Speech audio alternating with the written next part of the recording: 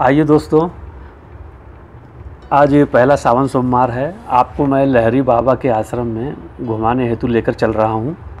यह बहुत ही बड़ा शिवलिंग है और उससे भी बड़ा, दस गुना बड़ा, उसके ऊपर शिवलिंग है। संत लहरी बाबा आश्रम, यह कामठा गाँव में है, जो महाराष्ट्र में है। मैं गोंदिया सिटी में रहता हूँ और यह आश्रम यहाँ से बाला, बारह किलोमीटर की दूरी पर स्थित है। आश्रम बहुत ही खूबसूरत है। और आश्रम का बगीचा तो सुंदरता पे चार चाँद लगा रहा है। बाबा जी इसी आश्रम मतलब इसी कामठा गाँव के मूल निवासी थे। इनका नाम जयराम दास था।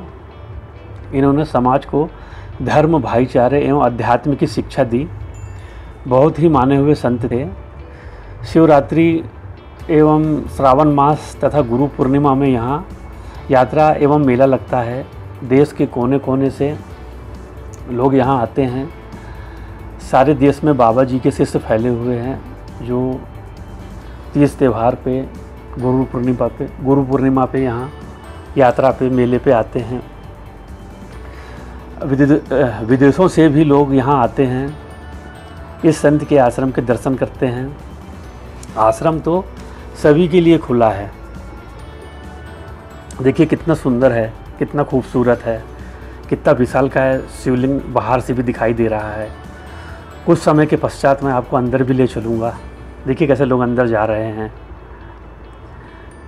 क्या प्यारी प्यारी क्या क्यारियाँ लगी हुई है। और देखो ये कि पीले रंग का, कत्थे कलर का नक्काशीदार मंदिर है। मैं आपको इसके अंदर भी लेकर जाऊँगा। कितना विशाल का नारियल का पेड़ है। और ये पेड़ में नारियल भी फले हुए हैं। देखो नंदी महाराज, एकदम सजे धजे सुंदर से बैठे हुए हैं और कितने विशाल काय हैं। बहुत सारे नारियल के विशाल वृक्ष हैं। ये कत्थे रंग के नक्काशीदार मंदिर में ये देवी विराजमान है। कितनी सुंदर मूर्ति है और कितनी भव्य मूर्ति है। मंदिर के इस प्रांगण में चारों तरफ़ फुहारे लगे हैं रंग बिरंगे फुहारे। मंदिर की गोलाई पे लगे हुए हैं। देखते ही बनती है रौनक मंदिर की। देखिए वो गेट कितना सुंदर बना हुआ है। सीढ़ियों पे कालीन बिछे हुए हैं। ऐसा लगता है हम कोई चित्र देख रहे हैं।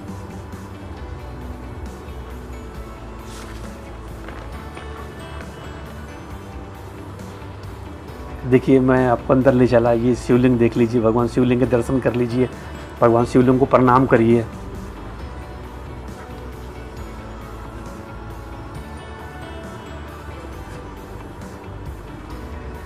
शिवलिंग के ऊपर शिवलिंग है।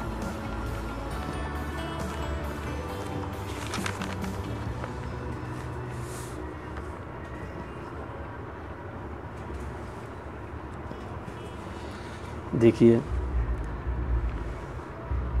सुंदर सुंदर फूल, फूलों के पेड़, क्यारियाँ, गमले, पूरे मंदिर परिसर को सजाया गया है।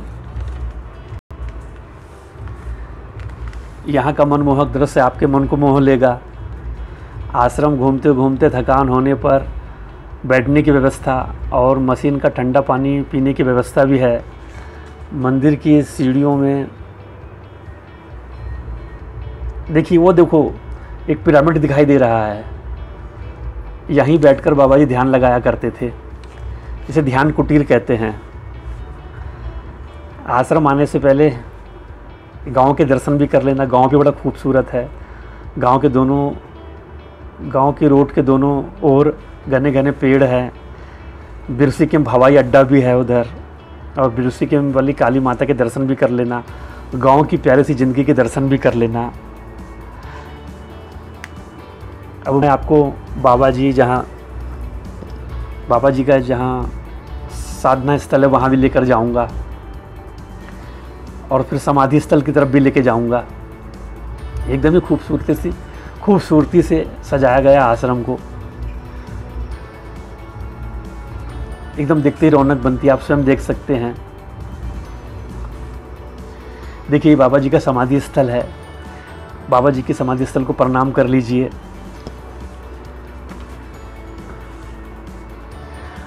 आपको मेरी मेहनत पसंद आई हो तो सब्सक्राइब ज़रूर करना। इससे काम करने का इंटरेस्ट बना रहता है। आगे भी अच्छी अच्छी यात्राओं की वीडियो बनाऊँगा। Thank you very much for watching this video